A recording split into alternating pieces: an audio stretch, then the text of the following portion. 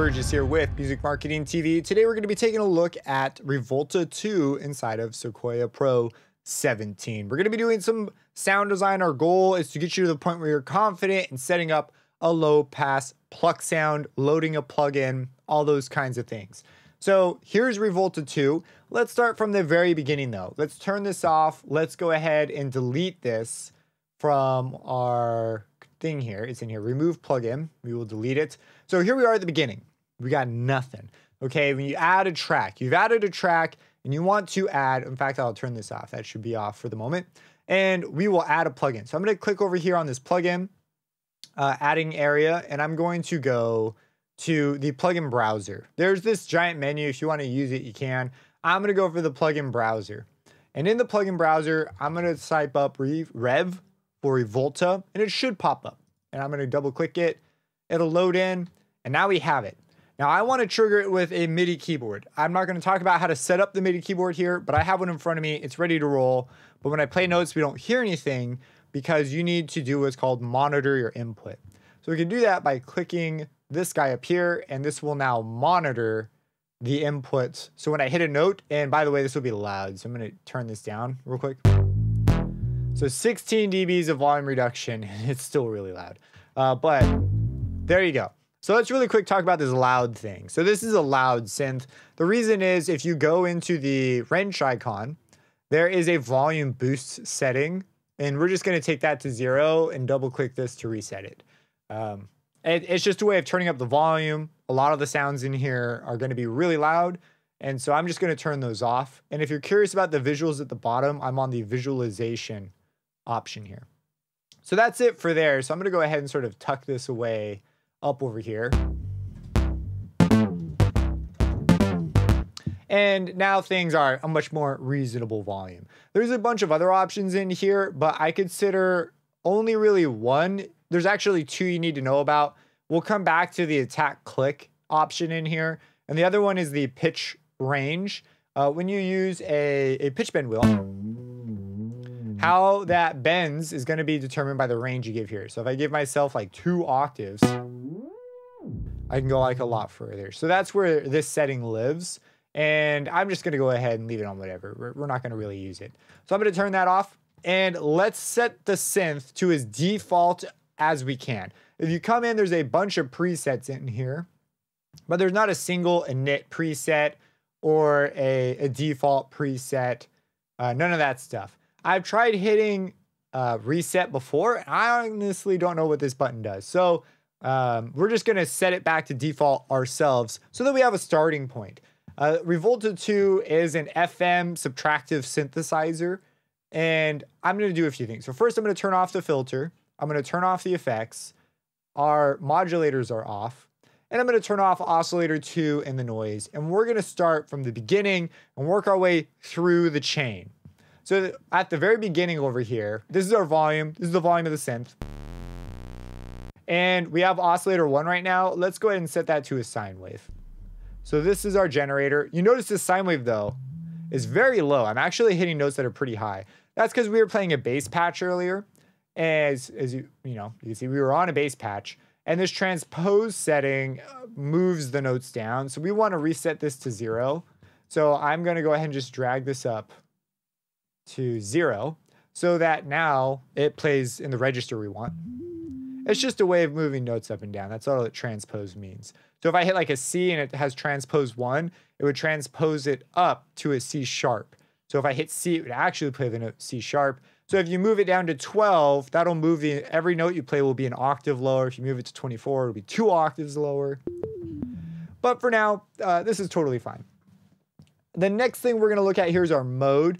So we have monophonic and poly. Mono means one note. And we have this glide control. And when I hit notes, they glide to the next note. So I'm actually holding down these notes, but you only ever hear the one, the last one that I glided to. And the reason for that is we're on mono, which can be great for some patches. We're going to go ahead and go with poly for now. Uh, this will allow us to play poly notes or, or mini notes. That's what poly means. You see, now I'm holding them down. And we can play notes how kind of we expect them to show up here. These are some modulators down here. We're not going to really touch these. uh, in this video, but they exist, and you should know that you know they're there. They're LFOs. They allow you to make things wobble back and forth automatically in interesting ways. Uh, we're not going to use them here, but definitely worth checking out if you want to do something on your own. We have oscillators one, two, and noise. Now, this is a FM synthesizer, and it's part of the reason why it's capable of making so many sounds despite how few controls there are. It's because FM is a really complicated thing and it allows you to do all kinds of crazy nonsense. I don't want to dive into FM here because this is a big, huge topic. It's kind of intimidating to even teach, let alone do. Uh, but oscillator one is what we're going to be rolling with. We have two of these oscillators and we can choose different waves for them. So right now we're on a sine wave. We could choose a saw wave. And then we have over here a pulse wave. And the pulse, we can change the duty cycle of the pulse. It's like how big or small that pulse is. Or we could choose another sawtooth. So I'll run with sawtooth 2 right now. I think that's pretty cool. The FM control we're going to ignore. And then we can choose a mix, but since oscillator 2 is completely off, let's just set it to oscillator 1. That way we get the volume from oscillator 1 that we kind of expect, and we could adjust our volume here. I really discourage you, please don't use this volume control unless you have good reason because it's just a hidden volume control. Why would you do that? Don't do that because then when you pop it up, we expect this to reflect our volume. We don't want hidden volume controls in places, okay? So we're gonna go ahead and take this down a bit. So that's pretty nice. Okay, so we have our wave. Hopefully I've got you through up to here. And you understand what all these things do. There's a few things we're sort of glossing over just because it's more advanced and we want to do a basic thing here. So let's go over to the amplitude envelope. So envelopes are a way of automatically controlling something about the synth. For example, uh, right now, when I hit a note, I expect the synth's volume to turn on and then to turn down over time. If I let go of the note, I expect the volume to go to zero. But you don't see me over here, you know, turning the volume knob up and down like a maniac because uh, that would be like a lot of work. And I, if I hit more than one note, like how do I deal with that? So we have an amplitude envelope. Uh, every synth will have one. And whether or not they show it to you is another story or they even tell you that that's the, the global one because envelopes can control a lot of things. In this case, it's controlling the amplitude. So the attack is how quickly it it turns the control up. In this case, the amplitude. So this is how quickly it gets loud.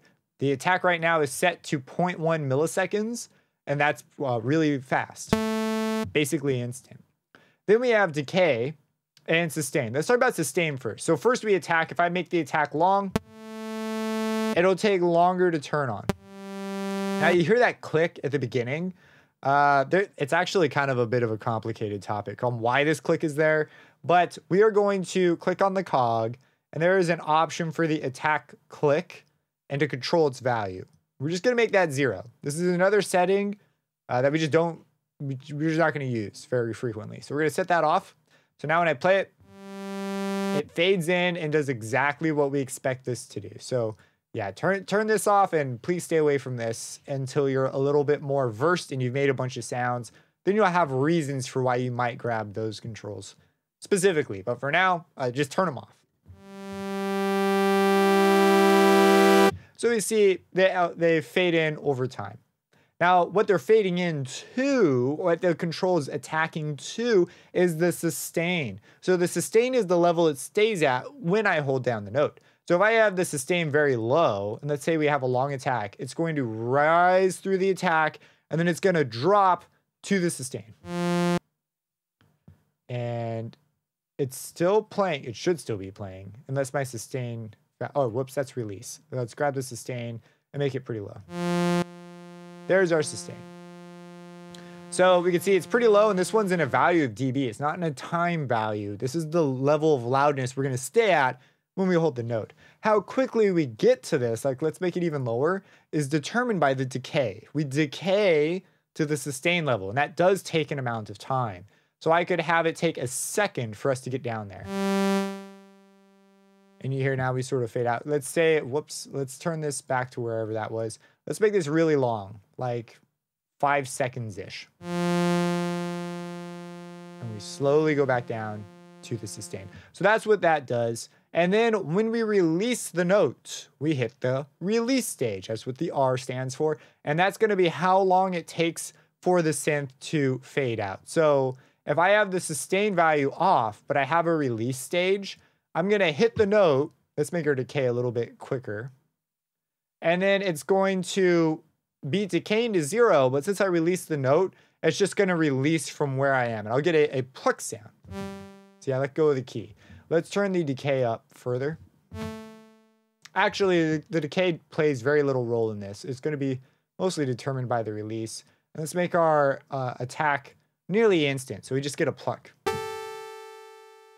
No notes.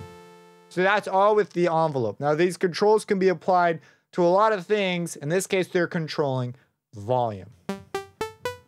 So I'm going to set this to act like a gate. So the way a gate works is the sustain will be 100, the release will be very small, and the attack will be very quick. So basically, when I hit a note, it plays, and when I let go of the note, it stops. It's like a gate.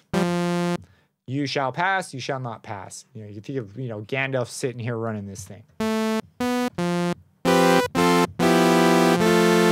So that is our amplitude envelope, but we want a low pass pluck sound. I want the sound of the frequencies turning down quickly over time. That's what our filter is here for. Our filter has uh, a drive control that we're going to turn off for the moment. And there's a, a cutoff control that we could move ourselves. Because I essentially wanted to turn off like that over time.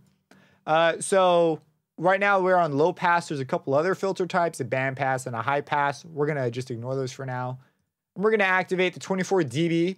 Uh, what that does is it makes the low pass uh, just more aggressive. It will get rid of frequencies faster. That's how you could think of it. So again, we want this control here. The first thing I want it to do is I want it to attack and reveal the sound. I want it to show all the frequencies and then I want it to turn off over time. So I'm going to set the sustain to uh, 0 dB, which is actually the loudest you can go in digital. Uh, see how it becomes negative after? So this is actually really loud. So it's going to immediately turn this control up, and then it's going to decay when I let go of the note. So if I if I play this, we'll we'll hear it, and then it decays. Now for this, I'm going to set the release on our amplitude envelope longer so that we have time to hear this decay take place. And I'll set the resonance up. This is a peak, an amplitude peak where the cutoff is, and we'll hear it move. You know, just zip down there. If we have the release be longer, you can see the that's resonance. See that amplitude peak? And then we can hear the volume over here decreasing. So I'm gonna have the release be pretty quick, and I don't want it to be reliant on the sustain value because I want it to be a pluck sound. So I'm to set the sustain down, and instead I'm going to bring up the release and the decay. So it attacks and then it decays, but since the sustain is very low, instead it just hits the release really quickly. And we have that. So I could dial this in.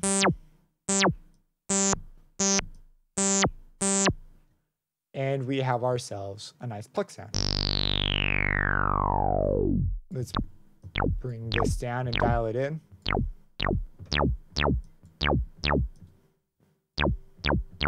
We have a pluck sound. Now there's a couple things we can do to sort of beef it up, make it sound more interesting. But if this, you know, just take a second here and process this because a lot, we've set up a few things in very specific ways. It's worth making sure you can deliberately do this.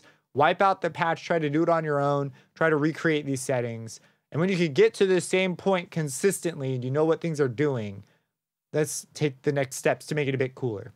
So first we have a drive control and I'm also going to take the resonance down because I don't want that peak noise.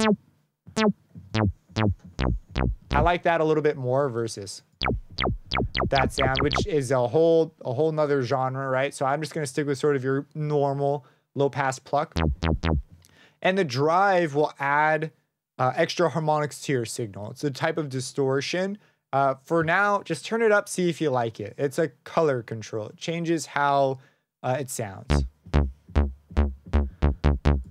So, and we could mess with the resonance on this.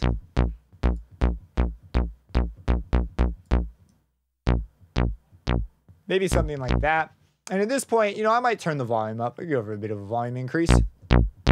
And now we come over to our effects. Now there's a lot of effects in here. I'm not going to go through them all, but we have another distortion in here.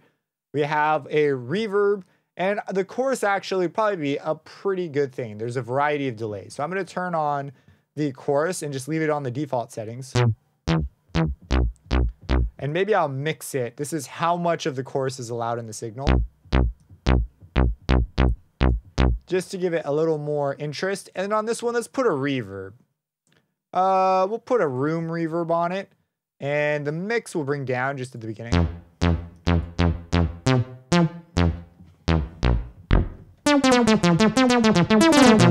And there you go. We have a low pass pluck.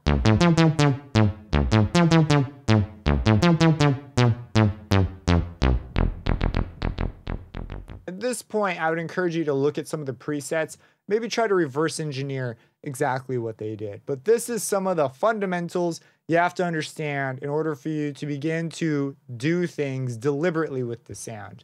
Because now we could take these other controls like the step sequencer or the LFOs and hook them up to different parts of the synth to automatically move on their own, just like how the envelopes do that for these parts of the synth.